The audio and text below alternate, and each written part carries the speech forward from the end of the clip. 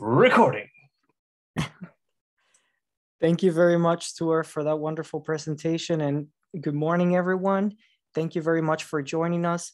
Um, Gilda, uh, can you please share the screen for us? And we're going to start sharing very, very soon. Here we go. Thank you so much, Gilda. And today we're going to be uh, presenting about social emotional learning in English language teaching, considerations for language teachers and teacher educators.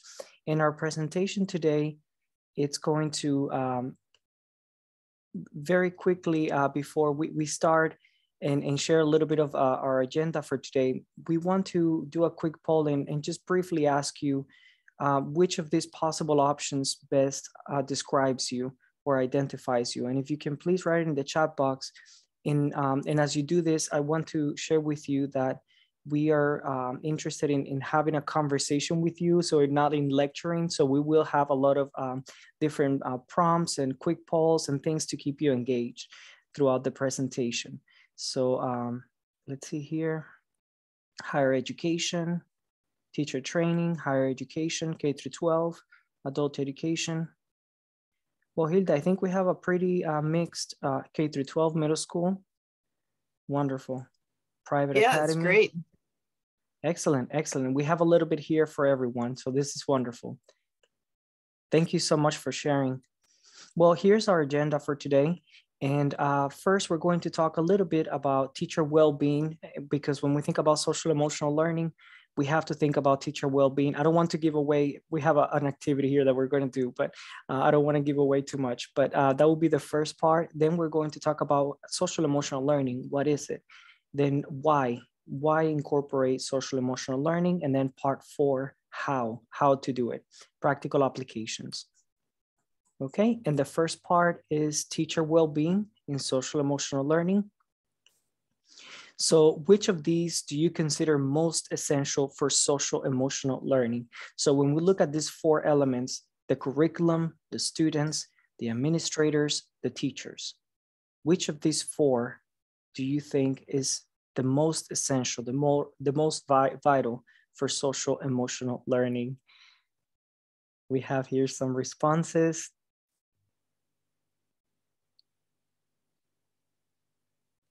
Thank you so much. We have Andrew, Andre, thank you. Gracia, thank you. BCD, David, D.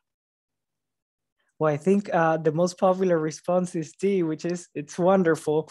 Um, sometimes when we ask this question, uh, we get mixed responses, but certainly I think everybody can make a case for uh, all of these, um, each of them, um, each of the responses being uh, essential for social emotional learning. For example, without students, you don't have social emotional learning, without curriculum, without administrator. But in, in our belief, we believe that teachers are essential for social emotional learning because without teachers, there is no social emotional learning, there is no teaching. Um, teachers are really the, the lifeblood of educational system. Um, and Sarah Mercer I uses that, that terminology, that phrase. Uh, without teachers, there is no education. So uh, we believe that first, before we focus on social emotional learning, we have to focus on teacher well-being. And um, what is teacher well-being? Well, when we think about teacher well-being, um, I'm going to share some with you, but um, our definition, there, there, are different definitions, different um, um, different ways of approaching teacher well-being in the literature. There isn't one specific um, definition that has been a, embraced by everyone because everybody has a different take. I apologize one moment. I'm sorry, I'm, I have some cold and every now and then I cough a little bit, sorry. Um, so uh, this is our definition that we're using. This is actually part of a definition of a, an upcoming book that we have. It's called Teacher Wellbeing in English Language Teaching. Uh, but the definition that we use for teacher well-being is well-being is a state of equilibrium where individuals experience health, happiness, and prosperity, all of which lead to developing life satisfaction, self realization, and the ability to engage in socially responsible behaviors, personally, professionally, emotionally, and spiritually. It's important to look at all those four elements that produce long lasting positive effects. Further, we hold that well being is not an individual duty, but the responsibility of society and ecological systems where individuals reside as a whole. And it's important for us to say this because many times in um, education, traditionally, uh, teacher well-being has been imposed or, or put uh, as, a, as, a, responsibility for teachers. And let's go to the next slide. I'll share a little bit more about that. But um, when we think about teacher well-being, have you seen this before? Have you seen this wheel of well-being or wellness wheel? Uh, many times when people think about teacher well-being, for example, they might just look at the salary. Oh, yes, we need to increase teacher salary. Or um, yes, we need to increase, uh, for example, um, having better classrooms. Yes, of course, uh, all of that affects teacher well-being. And of course, affecting teacher well-being is going to affect how teachers react, how teachers, um, teacher practices, how they teach, and is going to affect student learning as a consequence. But there are many other factors that we have to consider. For example, one factor out of the eight here that we have here um, that I want to bring attention to um, that is often left out of the conversation is environmental wellness. And there, there are um, research studies out there that show how when um, well-being in general, not only of teachers, but of the society, when the well-being of the society it's lower or it's, it's decreasing, there is a correlation to environmental wellness. So usually when the environment suffers, people's uh, well-being suffer and the other uh, way around as well. So, you know, these are elements and things that we don't think about. And, but bringing it back to uh, teaching and teacher well-being, this is traditionally how well-being has looked like in um, education. Everything revolves around teachers and it seems like everything like school district requirements, well-being, making sure that the, the school district uh, requirements are met, for example, everything seems to revolve around teachers and administrators putting responsibility on teachers and everyone just putting a lot of responsibility on teachers. We could add many more bubbles here like parents and, you know, um, or society, many, many more bubbles, but teachers are always placed at the center and they're, even for um, self-care during the pandemic, for example, there was this uh, practice that they started to do about self-care as a way to uh, put additional responsibilities on teachers, telling them if you don't take care of yourself, then it's your responsibility, then it's your fault because you're not doing enough self care. But teachers didn't have enough time to self care. So, this is why it is important to bring attention first to teacher well being and how uh, it should look like, which is the next slide.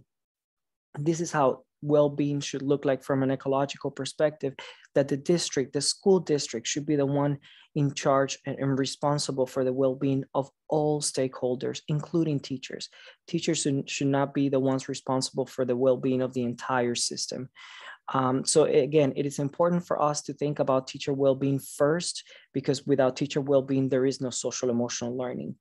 Um, if you haven't seen this, uh, uh, we don't have time to, to do this, but I, am just gonna leave this here for you. We'll be glad to share the PowerPoint at the end. Um, but if you haven't taken a well-being assessment, please check it out. And there are many more out there. This is a good one that I've tried with my students and they really liked it. Uh, but again, I'll, we'll be glad to share the PowerPoint with you. We don't have time, but it was something that we just wanted to leave there for you. And also, um, we don't have a lot of time for the next slide either, um, Gilda, but we but can I just also wanted to, yes, I wanted please. to share real quick that this well-being assessment, it only takes a few minutes, just so you know, so that you do in fact go back to it because it, it does just take maybe like five minutes at the most. And, and it'll give you just kind of a feeling of what are the aspects of well-being and how how well you really are in in the you know five minutes and it's it's very important every now and then to do a quick check-in because even when i was uh, i was doing this with my students this activity and they just told me i've never um, i've never really thought about my own well-being you know especially like in teacher preparation programs it seems like they're all they're expecting is to talk about how to teach students but they never focus on themselves. So it's important especially for teacher educators to think about okay how are we prioritizing or even just sharing a spotlight there uh, on, on teacher well-being and, and how they're doing, how our students are doing. So um, again, we don't have a lot of time to go over these three questions uh, because we have a lot more information to share with you, but uh, this is something that um, we just want to leave you here, these three questions. And again, you can go back later and think about them, how important is knowing about your well-being as a learner and or teacher. These are questions that I actually um, use with my students I'm, I'm teaching a class uh, about um, emotions and well-being in English language teaching, and we often talk about these things, you know, and, and we do a lot of um, like circles when we talk about uh, teacher well-being, emotions, student well-being, and um, if you're doing um, a course that invites itself to to these questions, please use them with your students and let me know how it works for you. And um, so we just wanted to leave that there for you. So maybe you use some meditation with your classes. I'm not sure, but um, but if you haven't, this is something that you might want to consider. And I like to add the visual of this GIF. It's on the website De-Stress Mondays. And the reason I like it so much is because it really allows the students to focus and become present. So, for example, if you start the class breathing, you know, as the students come in, you say, okay, we're going to start with our breathing. And then you have them focus on this gift And as it expands, so let's just take a moment to breathe in and think about the happy thoughts, the good feelings, the fact that it's Sunday, if you're in Korea. And as you blow out, you know, anything negative that you might have been experiencing, so that you can be here right now, present with me and as you breathe in, maybe you think about a goal for the year. And as you breathe out, concentrate on that one goal. And just taking a few minutes with your students really sets the tone. And I find again that, that this GIF, having this visual with it, makes a makes a big difference. So I highly recommend that you look into the the De-Stress Monday website. They have different shapes. I like I like the round shape, but they have stars and they have other triangles, whatever shape you like. So as Luis was talking about wellness and self-care, um, something that uh, that he was mentioning is that self-care shouldn't all fall on you. So, but the, the important thing is that we remember that we do really need self-care, right? And so I have um, an example. If you go on an airplane, the flight attendant will always say, you know, put your oxygen mask on first before you put it on the child that you're traveling with, because you have to be able to take care of yourself so that you can take care of others. And so that's kind of how I see self care and how we see self care. So, something that I know that works for me very well is to calendarize my day, I call it.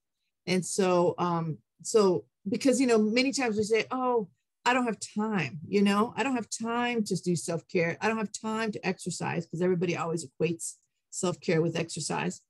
But if you think about the things that you really like personally, what works for you, right? Because this is your own self-care. What, how can you fit it in? So this is my example. This is how what would work for me. You know, for breakfast, I might consider eating something healthy, right? And then throwing in a few yoga stretches here and there so that I know that that's something that I really enjoy and makes such a difference. You know, when I go to work, rather than always listening to the news, listening to podcasts, something positive, positive messages, so that when I get there, I feel kind of refreshed. I'm feeling good. Then when I'm teaching, you know, including that meditation that I was just sharing at lunchtime, again, trying to eat healthy. When I when I go, you know, have a break, going outside, you know, having that moment to have that sun in your in your face and the, you know the wind going through your hair um, just makes such a difference and then seeking seeking others you know because it's we're not in this alone. As luis was saying you know it definitely takes a village. And so for our self-care it's something that we should go out and seek help you know talk to our peers talk to our supervisors so that we make sure that we get the the help that we need for self-care. So as as luis mentioned earlier sarah mercer's work. So the ecological perspective looks at the micro, meso, and macro levels. So when you think about it, the micro level is like at the individual level. So yes, you yourself can take care of your self-care, but it's more than that, right? We need the we need the society, we need our organizations, like I said, our supervisor to be on board to give us most importantly the time and the space and then you know getting this into policy so that it becomes something that is not only accepted but is part of our routine So I know, for example, one of the counties here where I live has made it so that once a, I think it was once a month, the teachers get together and they have like a half a day where they are supposed to work on self-care as a group. So each team, you know, each grade level is a team and then they they decide what works for them personally. So that way you can um, you know, so like for example, one team said, okay, what we're gonna do is we're gonna go hiking and then we're going to have lunch together. And that's what they wanted. That's what makes them feel good. And that's the important thing is that it makes you feel good. But the fact that their organization and their supervisor allowed them the time and the space was awesome. So if you uh, want to hear more about sarah mercer's work there's this um, presentation online that you can see for free so just look into it and um, and you can see uh, more information about that. But part of it talks about the the overlapping layers of what is it that affects teacher well-being. So as i was mentioning the institution the personal life and also the professional life are all going to affect it. So you know we really need the the time and the space to work on that so what what is social emotional learning and so it's basically the the knowledge the skills and the dispositions that our students need to succeed in school, but also outside of school, right? Beyond school. So out at work, in, you know, in their life at home. Um, so there's a lot of different factors that go into it. A lot of, there's five different competencies that we're going to be sharing with you. So quick poll, have you used social emotional learning in your classroom? Can you please say yes or no in the chat box? So we have a no, a no, some yes. No, no. Okay. Well, hopefully, I don't think so. Maybe by the time that we finish this um, this talk, you will see that maybe there are some things that you have done and you weren't even aware are social emotional learning. And maybe there are some things that you will consider after hearing from us. So thank you for thank you for letting us know. Oh, and I see uh, Grazia is not in the classroom, but she's in teacher training. Okay, in Honduras. Nice. Wonderful. Thank you so much, everyone, for responding to that poll. And like Gilda said, we're going to circle back to that poll, and you might surprise you might be surprised um, uh, when we finish this section. But um, as Gilda shared, we're going to be talking about five main competencies for social emotional learning there are many more uh, approaches to social emotional learning that I'm going to share with you later. But for right now, for this presentation, we're going to be focusing on CASEL's uh, competencies, which is self-awareness, self-awareness, self-management, social awareness, relationship skills, and responsible decision-making. And um, the first, let, us go at the first one. Uh, let's look at the first one first, uh, self-awareness. And self-awareness it's all about knowing ourselves, our emotions, and how we react to different events, to different scenarios. It's about looking into ourselves and, and our responses, our behaviors to things. Uh, when, when I usually taught um, self-awareness to my students, um, I did different activities um, to, for them to know more about their feelings, about their values, their biases, and um, there are many ways that you can do this, but an example that I can give you, for example, here in the next slide, it's an activity that I really like for self-awareness. It's uh, connected to positive psychology and positive um, de uh, developing positive mindset, positive traits here. We have a list of different traits, of positive traits, uh, intelligent, uh, hardworking, loyal. And depending, it depends on the level of your student. Of course, you can make it more difficult. Um, I usually taught newcomers. That's the level that I like to teach the most.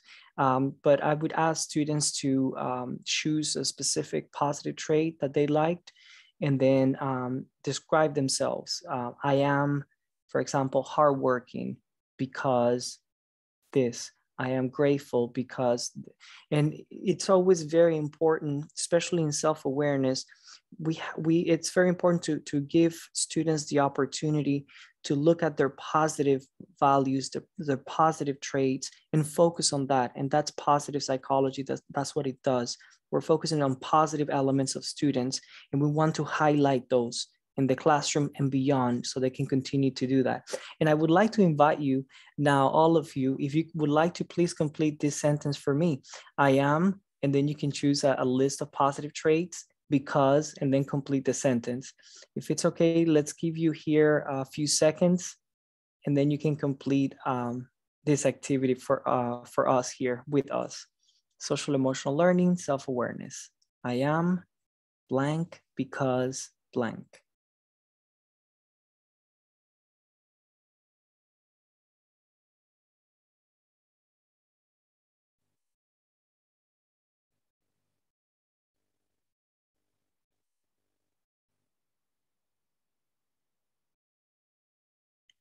Thank you very much, Ian. I am enthusiastic because I enjoy teaching. Love it. I love it.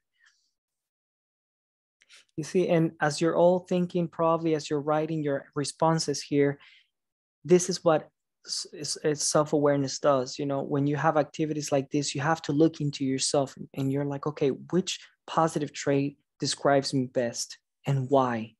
And that's what you're doing you're analyzing yourself you're looking at yourself and your positive traits. Thank you andrew. I am motivated because i want to uh, because uh, i have goals. I am motivated because i want to contribute to change. Gracias thank you.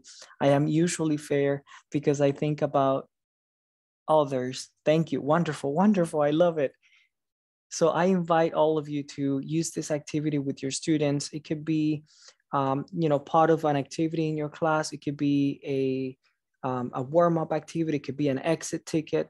You know, there are different ways of how you can include this. And of course, it depends on the level of your students. You can make it more complicated, a little bit more, um, you know, um, higher level if you like.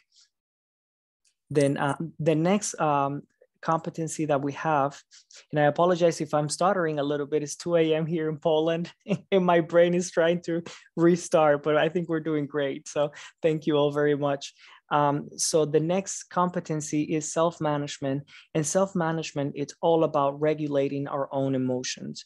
And um, it's very important. I, I use the word regulating and notice that, that I, I do not use the word control because emotions should not be controlled or suppressed. They should be regulated. Students need to understand what the emotions that they're, they're feeling are, give them a name, and then regulate those emotions instead of controlling them. Emotions uh, should not be controlled. But then in the next slide, for example, we have an activity of how we can um, include self uh, self management and, and self-regulation in, in, our, um, in our classroom or beyond. And this is something that I like to do with my students as well. And uh, we did a quick check-in always in the beginning of the class. And I would ask them, um, today I feel, and then of course you have the kind of the, the most essential um, you know, uh, we have here some values that are, are in some emotions that are kind of more um, more uh, popular. I apologize as 2 a.m. brain.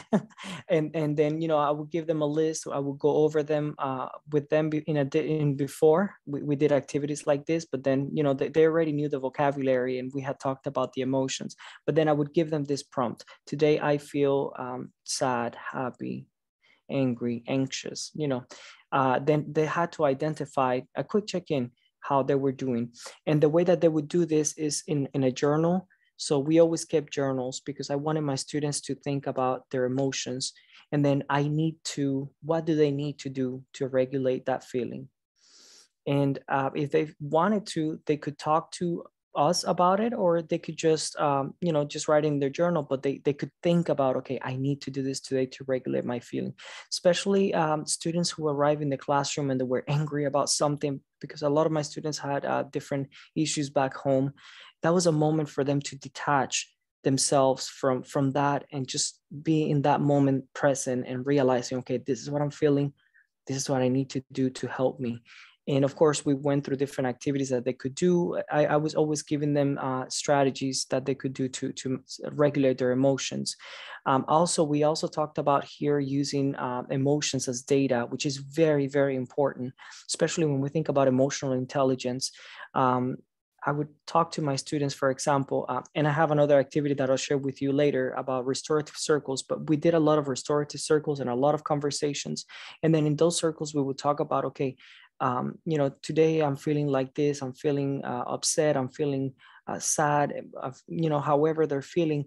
And then I would ask questions like this, okay, have you felt like this before? What triggered that um, that feeling last time? And then using that information as data to see okay what do you do last time to help you feel better? If you didn't do anything then let's try something you know and then we will talk about potential ways to to self-regulate that emotion to feel better. And then uh, if it worked good. Then they know that they can use that approach next time to help themselves uh, you know regulate those emotions and feel better.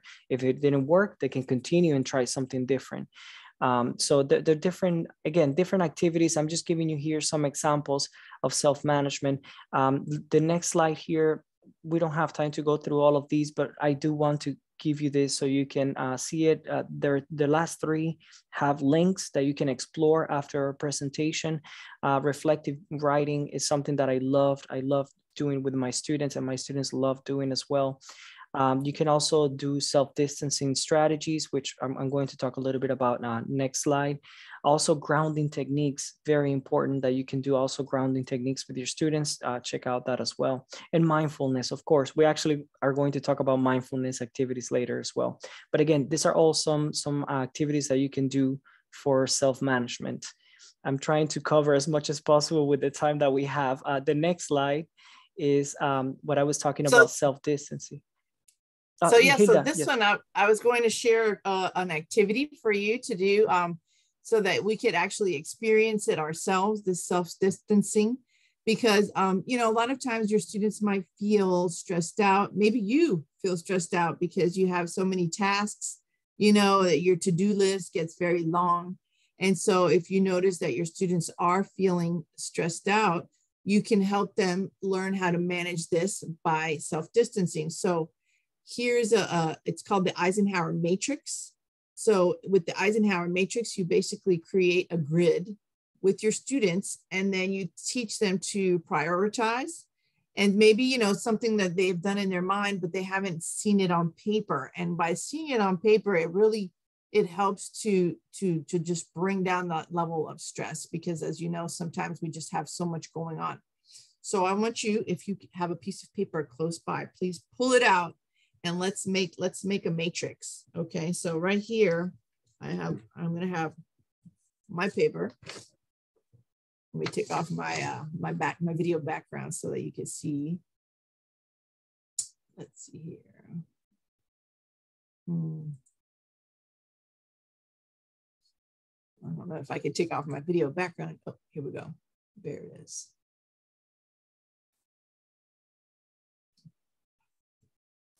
Ah, there we go. Okay, so yeah, so you start off with a piece of paper and then I want you to make a, make the grid with me. All right, so we're gonna start with the, uh, the grid. And then as you see there, think about something, you know, for you personally, what is the most important thing that you need to do today? That it's urgent because you need to do it today and it's very important. Put that in your top corner. And then under that, it's something that you need to do today, but yet it's not as important. So, for example, something that is very important that I always have to do every day. So, I would put that in my most important section would be to check my emails. I always have to do that every day. Less important, but I definitely want to do it today would be to clean the house. So see, I have my list here, as you can see, in terms of what I would do. So the idea is to do it with your students and maybe it would be those kinds of things, but it could be that you think about what might they say is most important. Maybe the most important thing you want them to focus on is their homework. Perhaps less important is clean their room, but although that's something that they would be doing today, right? And then less important on this side. So the idea is to just distance themselves from the, the amount of things that they might have to do so that they feel less stressed. I know something that I do every day for in terms of this kind of self-distancing idea is I put things on my calendar. So I know that if I have one big long to-do list, it's too much. It, it's overwhelming. Maybe you experience this too. I don't know. But if I put this out um, across my calendar, then it makes it much more doable. You know, I see there's 10 things, but now I'm doing one today, two tomorrow, three the next day. And I feel so much better that way. So let's see here. I just was wondering, what do you do if you do anything when you know that your students are feeling overwhelmed with tasks and due dates? Can you type in your chat box? What, what are the kinds of things that you do to help them with that, if anything?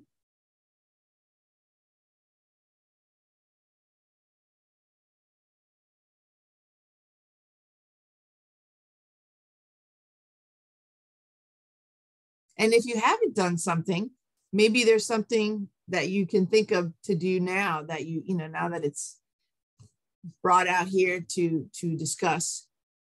So recognize their feelings and have them do something to make them smile. Ooh, I like that. I like that. Very good, Alyssa. Any other ideas? Oh, listening to music. Absolutely. And turn off turn off the lights for a few minutes. Oh, very good. Yeah, that's definitely calming.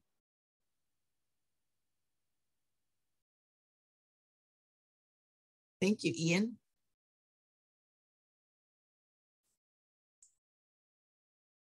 And here, oh, I have another one. Jeanette says, so Jeanette says, I took everyone outside and made them leave their computers, devices.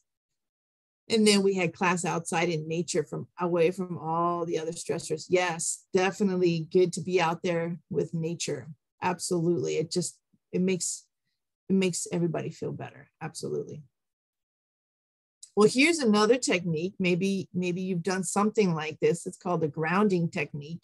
And it helps students once again feel less stressed, but also to become present. Because if they have all these things on their mind, like Luis was saying, you know, maybe they're bringing with them, you know, problems from their home, or, you know, maybe it's at work that they're, you know, they're having a lot of things to do at work, whatever the issue is. Um, if you do this grounding activity, it kind of helps get them here. So let's take a couple minutes just to do this. So the first one is what are five things that you can see? So just look around your environment right now and count five things that you could see. So, for example, I could see the wall, I could see the light, I could see the ceiling. So, think of five things. Now, what are four things that you can feel?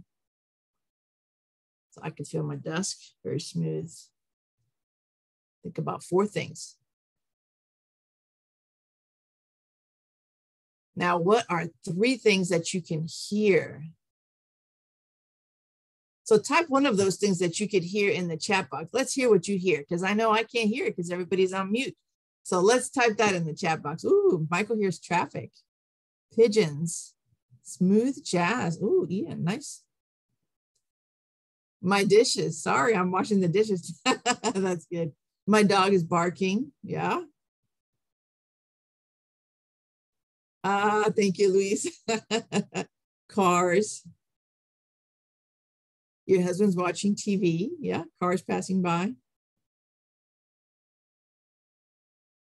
So you see the fact that we have been thinking about all these different things. Now we're not thinking about any problem that we might have had, hopefully, at least during this grounding technique. So if you did this with students that come into your class, or maybe in the middle of class, you take a little break and you do this, now we're back and we're focused and we can continue. So I love this technique. And it's and it goes as uh, Luis was talking about positive psychology. This is also goes along with positive psychology. So the next competency, so as we said, there was five, is social awareness. And what exactly is social awareness? Well, it's it's being able to recognize the strengths in others, being able to be concerned about them, express gratitude for them, and understand that there are, you know, diverse social norms. And so Luis is going to talk about some restorative circles activity. Yes, thank you, Gilda. And something that I really love doing with my students is uh, restorative circles, especially uh, for, for this particular um, competency of social awareness.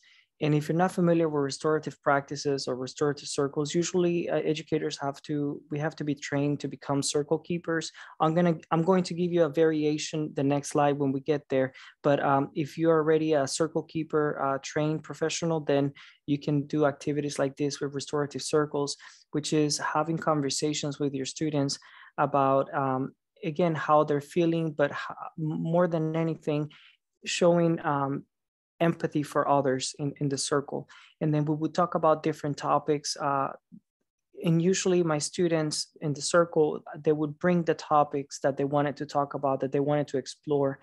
And um, things like, for example, sadness, happiness, um, how to communicate with other others better, especially with students that um, English learners, especially if they're learning English as a second language in, in an environment where English is the, the the dominant language and they're learning that language there is usually a lot of miscommunication in the beginning but you know they want to talk about those miscommunications. And the circle is a good a good place because it's a safe space where they can talk about it we can learn together and they become more aware of their surroundings. Also it could be you know we could have a moment of levity and, and just have fun like the last question here what are three words you know in another language? And then they will start thinking about different languages and things that they know and they're still becoming socially aware of their surroundings, of the culture, of the norms, um, what to do, what not to do. We would we had conversations, for example, um, and little things like uh, what is the difference between "excuse me" and "I'm sorry," uh, because especially for English learners, um, depending on the the first language that that they they speak or the the first languages that they might speak, um, it might be different, you know, and there might be miscommunication when they should say, for example, I'm sorry, and they say, excuse me. You know, little things like that. Um, it's the restorative circles are a wonderful place to talk about all of these things and become more aware of their surroundings, but also of others.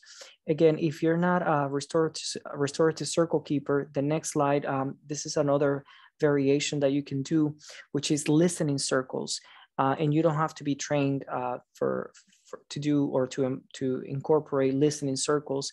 And I actually give you here, this is a link um, for an, an article. It's, it's titled How to Behave and Why, Exploring Moral Values and Behavior in ESOL Newcomer Classroom. And this is uh, an article that I, I, I, read, um, I wrote a while back in high school. And I I didn't know that I was actually doing listening circles. You won't see the word there because I still didn't have that vocabulary. It was very early in my career, but I started doing these circles with my students where we would talk about moral values, behavior, because I was interested. We had a lot of um, miscommunication and, and cultural uh, differences in, in our classroom. And I wanted to give them a space to talk about, okay, maybe how I see something, it might be different for that, for the other student, and the other student might see it in a different way. So please check out that article and then you'll see uh, how we did listening circles and we would talk about uh, different books and different topics. I started bringing a lot of topics, uh, a, a, lot of different books about specific topics like uh, honesty, um, um, like moral values, like, you know, kindness, empathy. And then we would read together and then we would just sit there and talk about that. And then they would talk about how they might see things differently. Just to give you an example, uh, we were talking about one time about honesty. And then one of the students said that um, depending on on the background, honesty might be seen differently. And uh, she said, for example, you know, where I come from, if you're honest, um, for example, uh, then or you know or stealing. She, she talked about stealing and honesty. Uh, where where I come from, families have to steal to be able to survive and and and eat. If not, they won't be able to eat and they'll they'll die.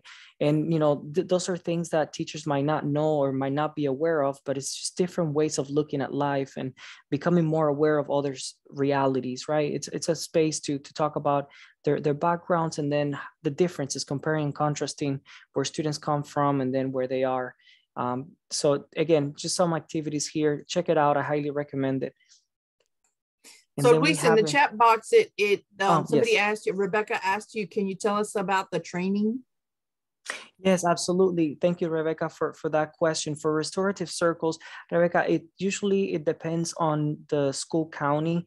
In the school county that I was working, they had a summer training for teachers uh, because of course all the training for teachers happened in the summer so we really don't have a break but it was wonderful. It was a wonderful training and what they did was that they just we just went through the whole process of restorative circles and we had my mentor um, robin mcnair and uh, she actually took us through through the whole process of restorative circles and it was very intense um, um, emotionally intense and in, in essence we would do circles with her initially and then we started leading the circles.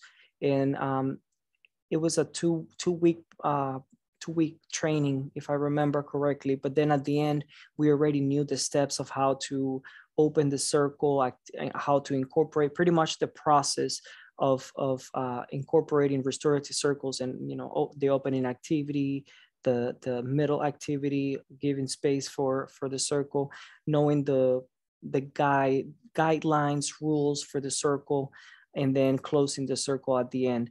There's actually uh, at the end of our presentation, there is a link um, that I'm going to share with all of you that you can read more about it. And I talk a little bit more about um, restorative circles and how to include it in your um, in your English classrooms. So there, there is a link at the end that you can read more about it. All right. So now I wanted to share a little bit about wordless books. So, wordless books, it, you might be familiar with them, are picture books without any words. And so I, I had um, edited a book called Wordless Books So Much to Say that was um, that had activities and lessons for teaching students reading, writing, listening, and speaking skills. But um, but now that Luisa and I have been working so much with social emotional learning, I'm thinking, you know, really you could use a lot of the wordless books to teach social emotional learning too. So, for example, in the the book Chalk, um, you will see the the story. But I, before I before I get to the story itself, I wanted to um, to say that a lot of times people say, well, you know, you can't really use wordless books with older students, but in a way you can because this book for example if a student is older and you and you frame that frame it that they are like an author and they actually have to um, critique the book or they have to have a dialogue about the book and then write the book write the story so they're an author. In that way it, it changes the the mindset of what's the purpose of reading this book. But in this particular book it talks a lot about emotions. So as you could see, the, the girl had found some chalk and then she drew the sun on the ground. But then when she drew it, it, it came to life. So you could see their emotions have to do, you know, they're excited, they're happy, they're, you know, looking up together. And then the next girl, she starts drawing butterflies. So as you can imagine, what's going to happen is that the butterflies come to life and they seem extremely excited, right? So you could talk about, okay, so what is it that makes you excited? What is it that makes you happy? You could have, you know, in-depth conversations about that. If you really wanted to get into other emotions, such as the emotions of being afraid or being scared, you know, you could talk about it because of this book. Um, so even though the book, you know, you, you would think it's a, a very simple child's book, um, a lot of emotions can be can be dealt with by looking at them. And there are just so many other wordless books but i know that something that really excites me about the wordless books is that when i um, have worked with families that are not literate in their own language and yet when i bring in wordless books they light up because they are able to participate and they can see how they can help their child um, become you know motivated to read even if they don't know how to read because there's a lot of skills in reading you know as such as like looking at the pictures for comprehension you know turning um, turning the book the pages from right to left or left to right depending on which you know country you're in reading left to right or right to left again depending on which country you're in. But those things that you know you can do with a book just by pointing at, you know, with the parents. Um, there are things that they could do even if they can't read. So again, I highly recommend using wordless books. So Gilda, uh, in just a moment, we only have five minutes left just to uh, to share. Oh yes, so I just saw that uh, the Stuart was saying that. So Luis, did you want to um, did you want to um, take a break for questions maybe since we only have five minutes left? Do we have um, after do we have five minutes of presentation and then 10 minutes of question and answer or just five questions or five minutes in, in total? Um, I'm sure David can confirm this. I believe the session has to end at 9.50, oh, but, there, but there is okay. a Discord server, you see. So attached to the conference, there's a server people can ask questions and such afterwards. Okay, uh, okay. Okay. David, yes, is that is that correct? Just to be sure? Yes, we have to end in five minutes. Okay, okay. Uh, okay. we apologize everyone. We had a lot of activities. We'll be glad to share them with all of you. Um, gilda i think we can go to the question and answer uh, slide at the end and welcome okay. questions. sure. Let me um thank you stuart for for keeping us here uh focused. Yes, yeah we, we, yes. Yeah this question slide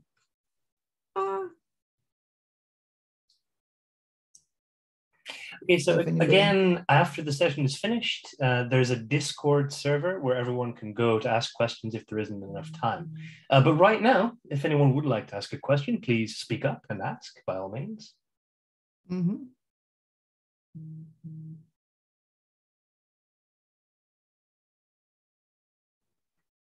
Oh, thank you very much, Gracia. Gracias sharing here the, the link for the book, um, Social Emotional Social Emotional Learning from TESOL Press. Thank you very much. And I saw Ethan had shared that um, that he really liked the wordless books because uh, he's an artist in his personal life. Ah, very interesting.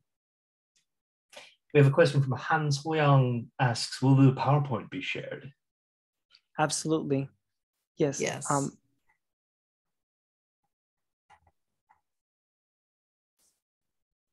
Any other questions? You're very welcome.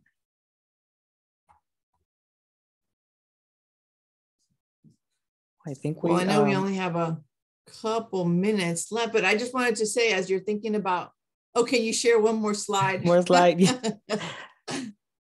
uh, maybe let's go back to one see. of the activities um, very quickly. Let's the um, perhaps the bibliotherapy uh, activity that I that, that's one of my favorite ones. Uh, okay, okay. This one right that here. one, yes, bibliotherapy. Uh, it's a it's a, a, type of social emotional learning that I love, love, love doing with my students. And what we would do is that we would do a feelings board, and then we would explore feelings. And um, I really like doing cinquains and haiku poems. In the next slide, we have um, this is what I would teach my students how to do cinquain poems and haiku poems. And then we would talk about emotions and then they would create these beautiful uh, poems. And then we put everything on the, on the uh, board, the feelings board. Let's go back to that slide very quickly, Gilda. And that's the picture uh, of one of the pictures. And then they would do cards and decorate the classroom with their feelings, but then they would explore the feelings and talk about what they were um, you know, feeling or, or dealing with in that particular moment. And at the end of the day, it always made them smile and, and feel a little bit better. So I highly recommend doing bibliotherapy with them. You'll see more information about bibliotherapy in the slide as well. So when we share the, the slides.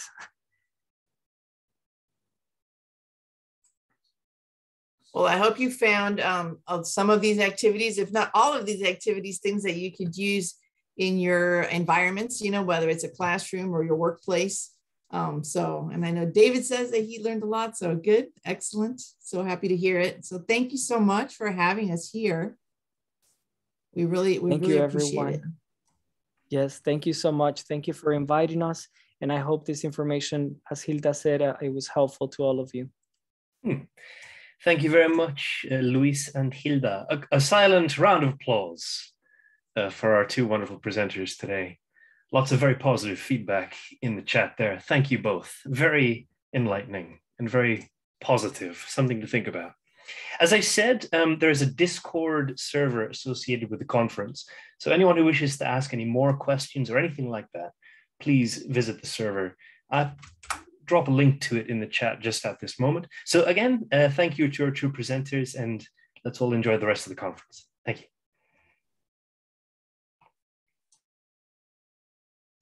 I'm going to stop the recording now.